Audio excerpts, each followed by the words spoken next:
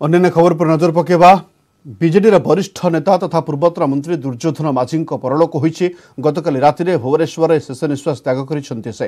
ମୃତ୍ୟୁବେଳକୁ ତାଙ୍କୁ ଅଠାଅଶୀ ବର୍ଷ ବୟସ ହୋଇଥିଲା। ଏନେଇ ତାଙ୍କ ପୁଅ ସୂଚନା ଦେଇଛନ୍ତି। ଗତକାଲି ରାତିରେ ଶୋଇଥିବା ସମୟରେ ସେ ଅସୁସ୍ଥତା ଅନୁଭବ କରିଥିଲେ। ଏହାପରେ ତାଙ୍କୁ ତୁରନ୍ତ କ୍ୟାପିଟାଲ ହସ୍ପିଟାଲ ନିଆଯାଇଥିଲା। ତେବେ ସେଠାରେ ଚିକିତ୍ସାଧୀନ ଅବସ୍ଥାରେ ତାଙ୍କର ମୃତ୍ୟୁ ହୋଇଥିଲା। ସେ ପାଞ୍ଚଥର ବିଧାୟକ ଓ ତିନିଥର ମନ୍ତ୍ରୀ ହୋଇଥିଲେ। ଉଣେଇଶହ ସତଷଠି ମସିହାରୁ ସେ ନିଜର ରାଜନୀତି ଜୀବନ ଆରମ୍ଭ କରିଥିଲେ।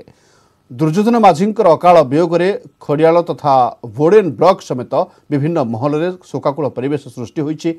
କାଲି ତାଙ୍କ ଶେଷକୃତ୍ୟ ସମ୍ପାଦନ ହେବ।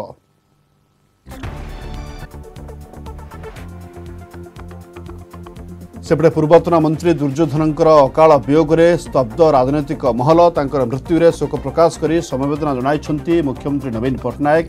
ସେ କହିଛନ୍ତି ଦୁର୍ଯ୍ୟୋଧନଙ୍କ ଦେହାନ୍ତ ରାଜନୀତି ପାଇଁ ଏକ ଅପୂରଣୀୟ କ୍ଷତି।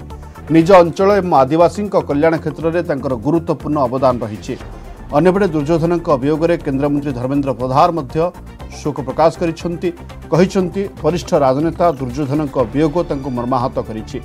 ଜନପ୍ରତିନିଧି ଭାବେ କରିଥିବା କାର୍ଯ୍ୟ ତାଙ୍କୁ ସବୁବେଳେ ଅବିସ୍ମରଣୀୟ ରଖିବ ତାଙ୍କର ଅମର ଆତ୍ମାର ସଦ୍ଗତି ସହିତ ପରିବାର ବର୍ଗଙ୍କୁ ସମବେଦନା ଜଣାଇଛନ୍ତି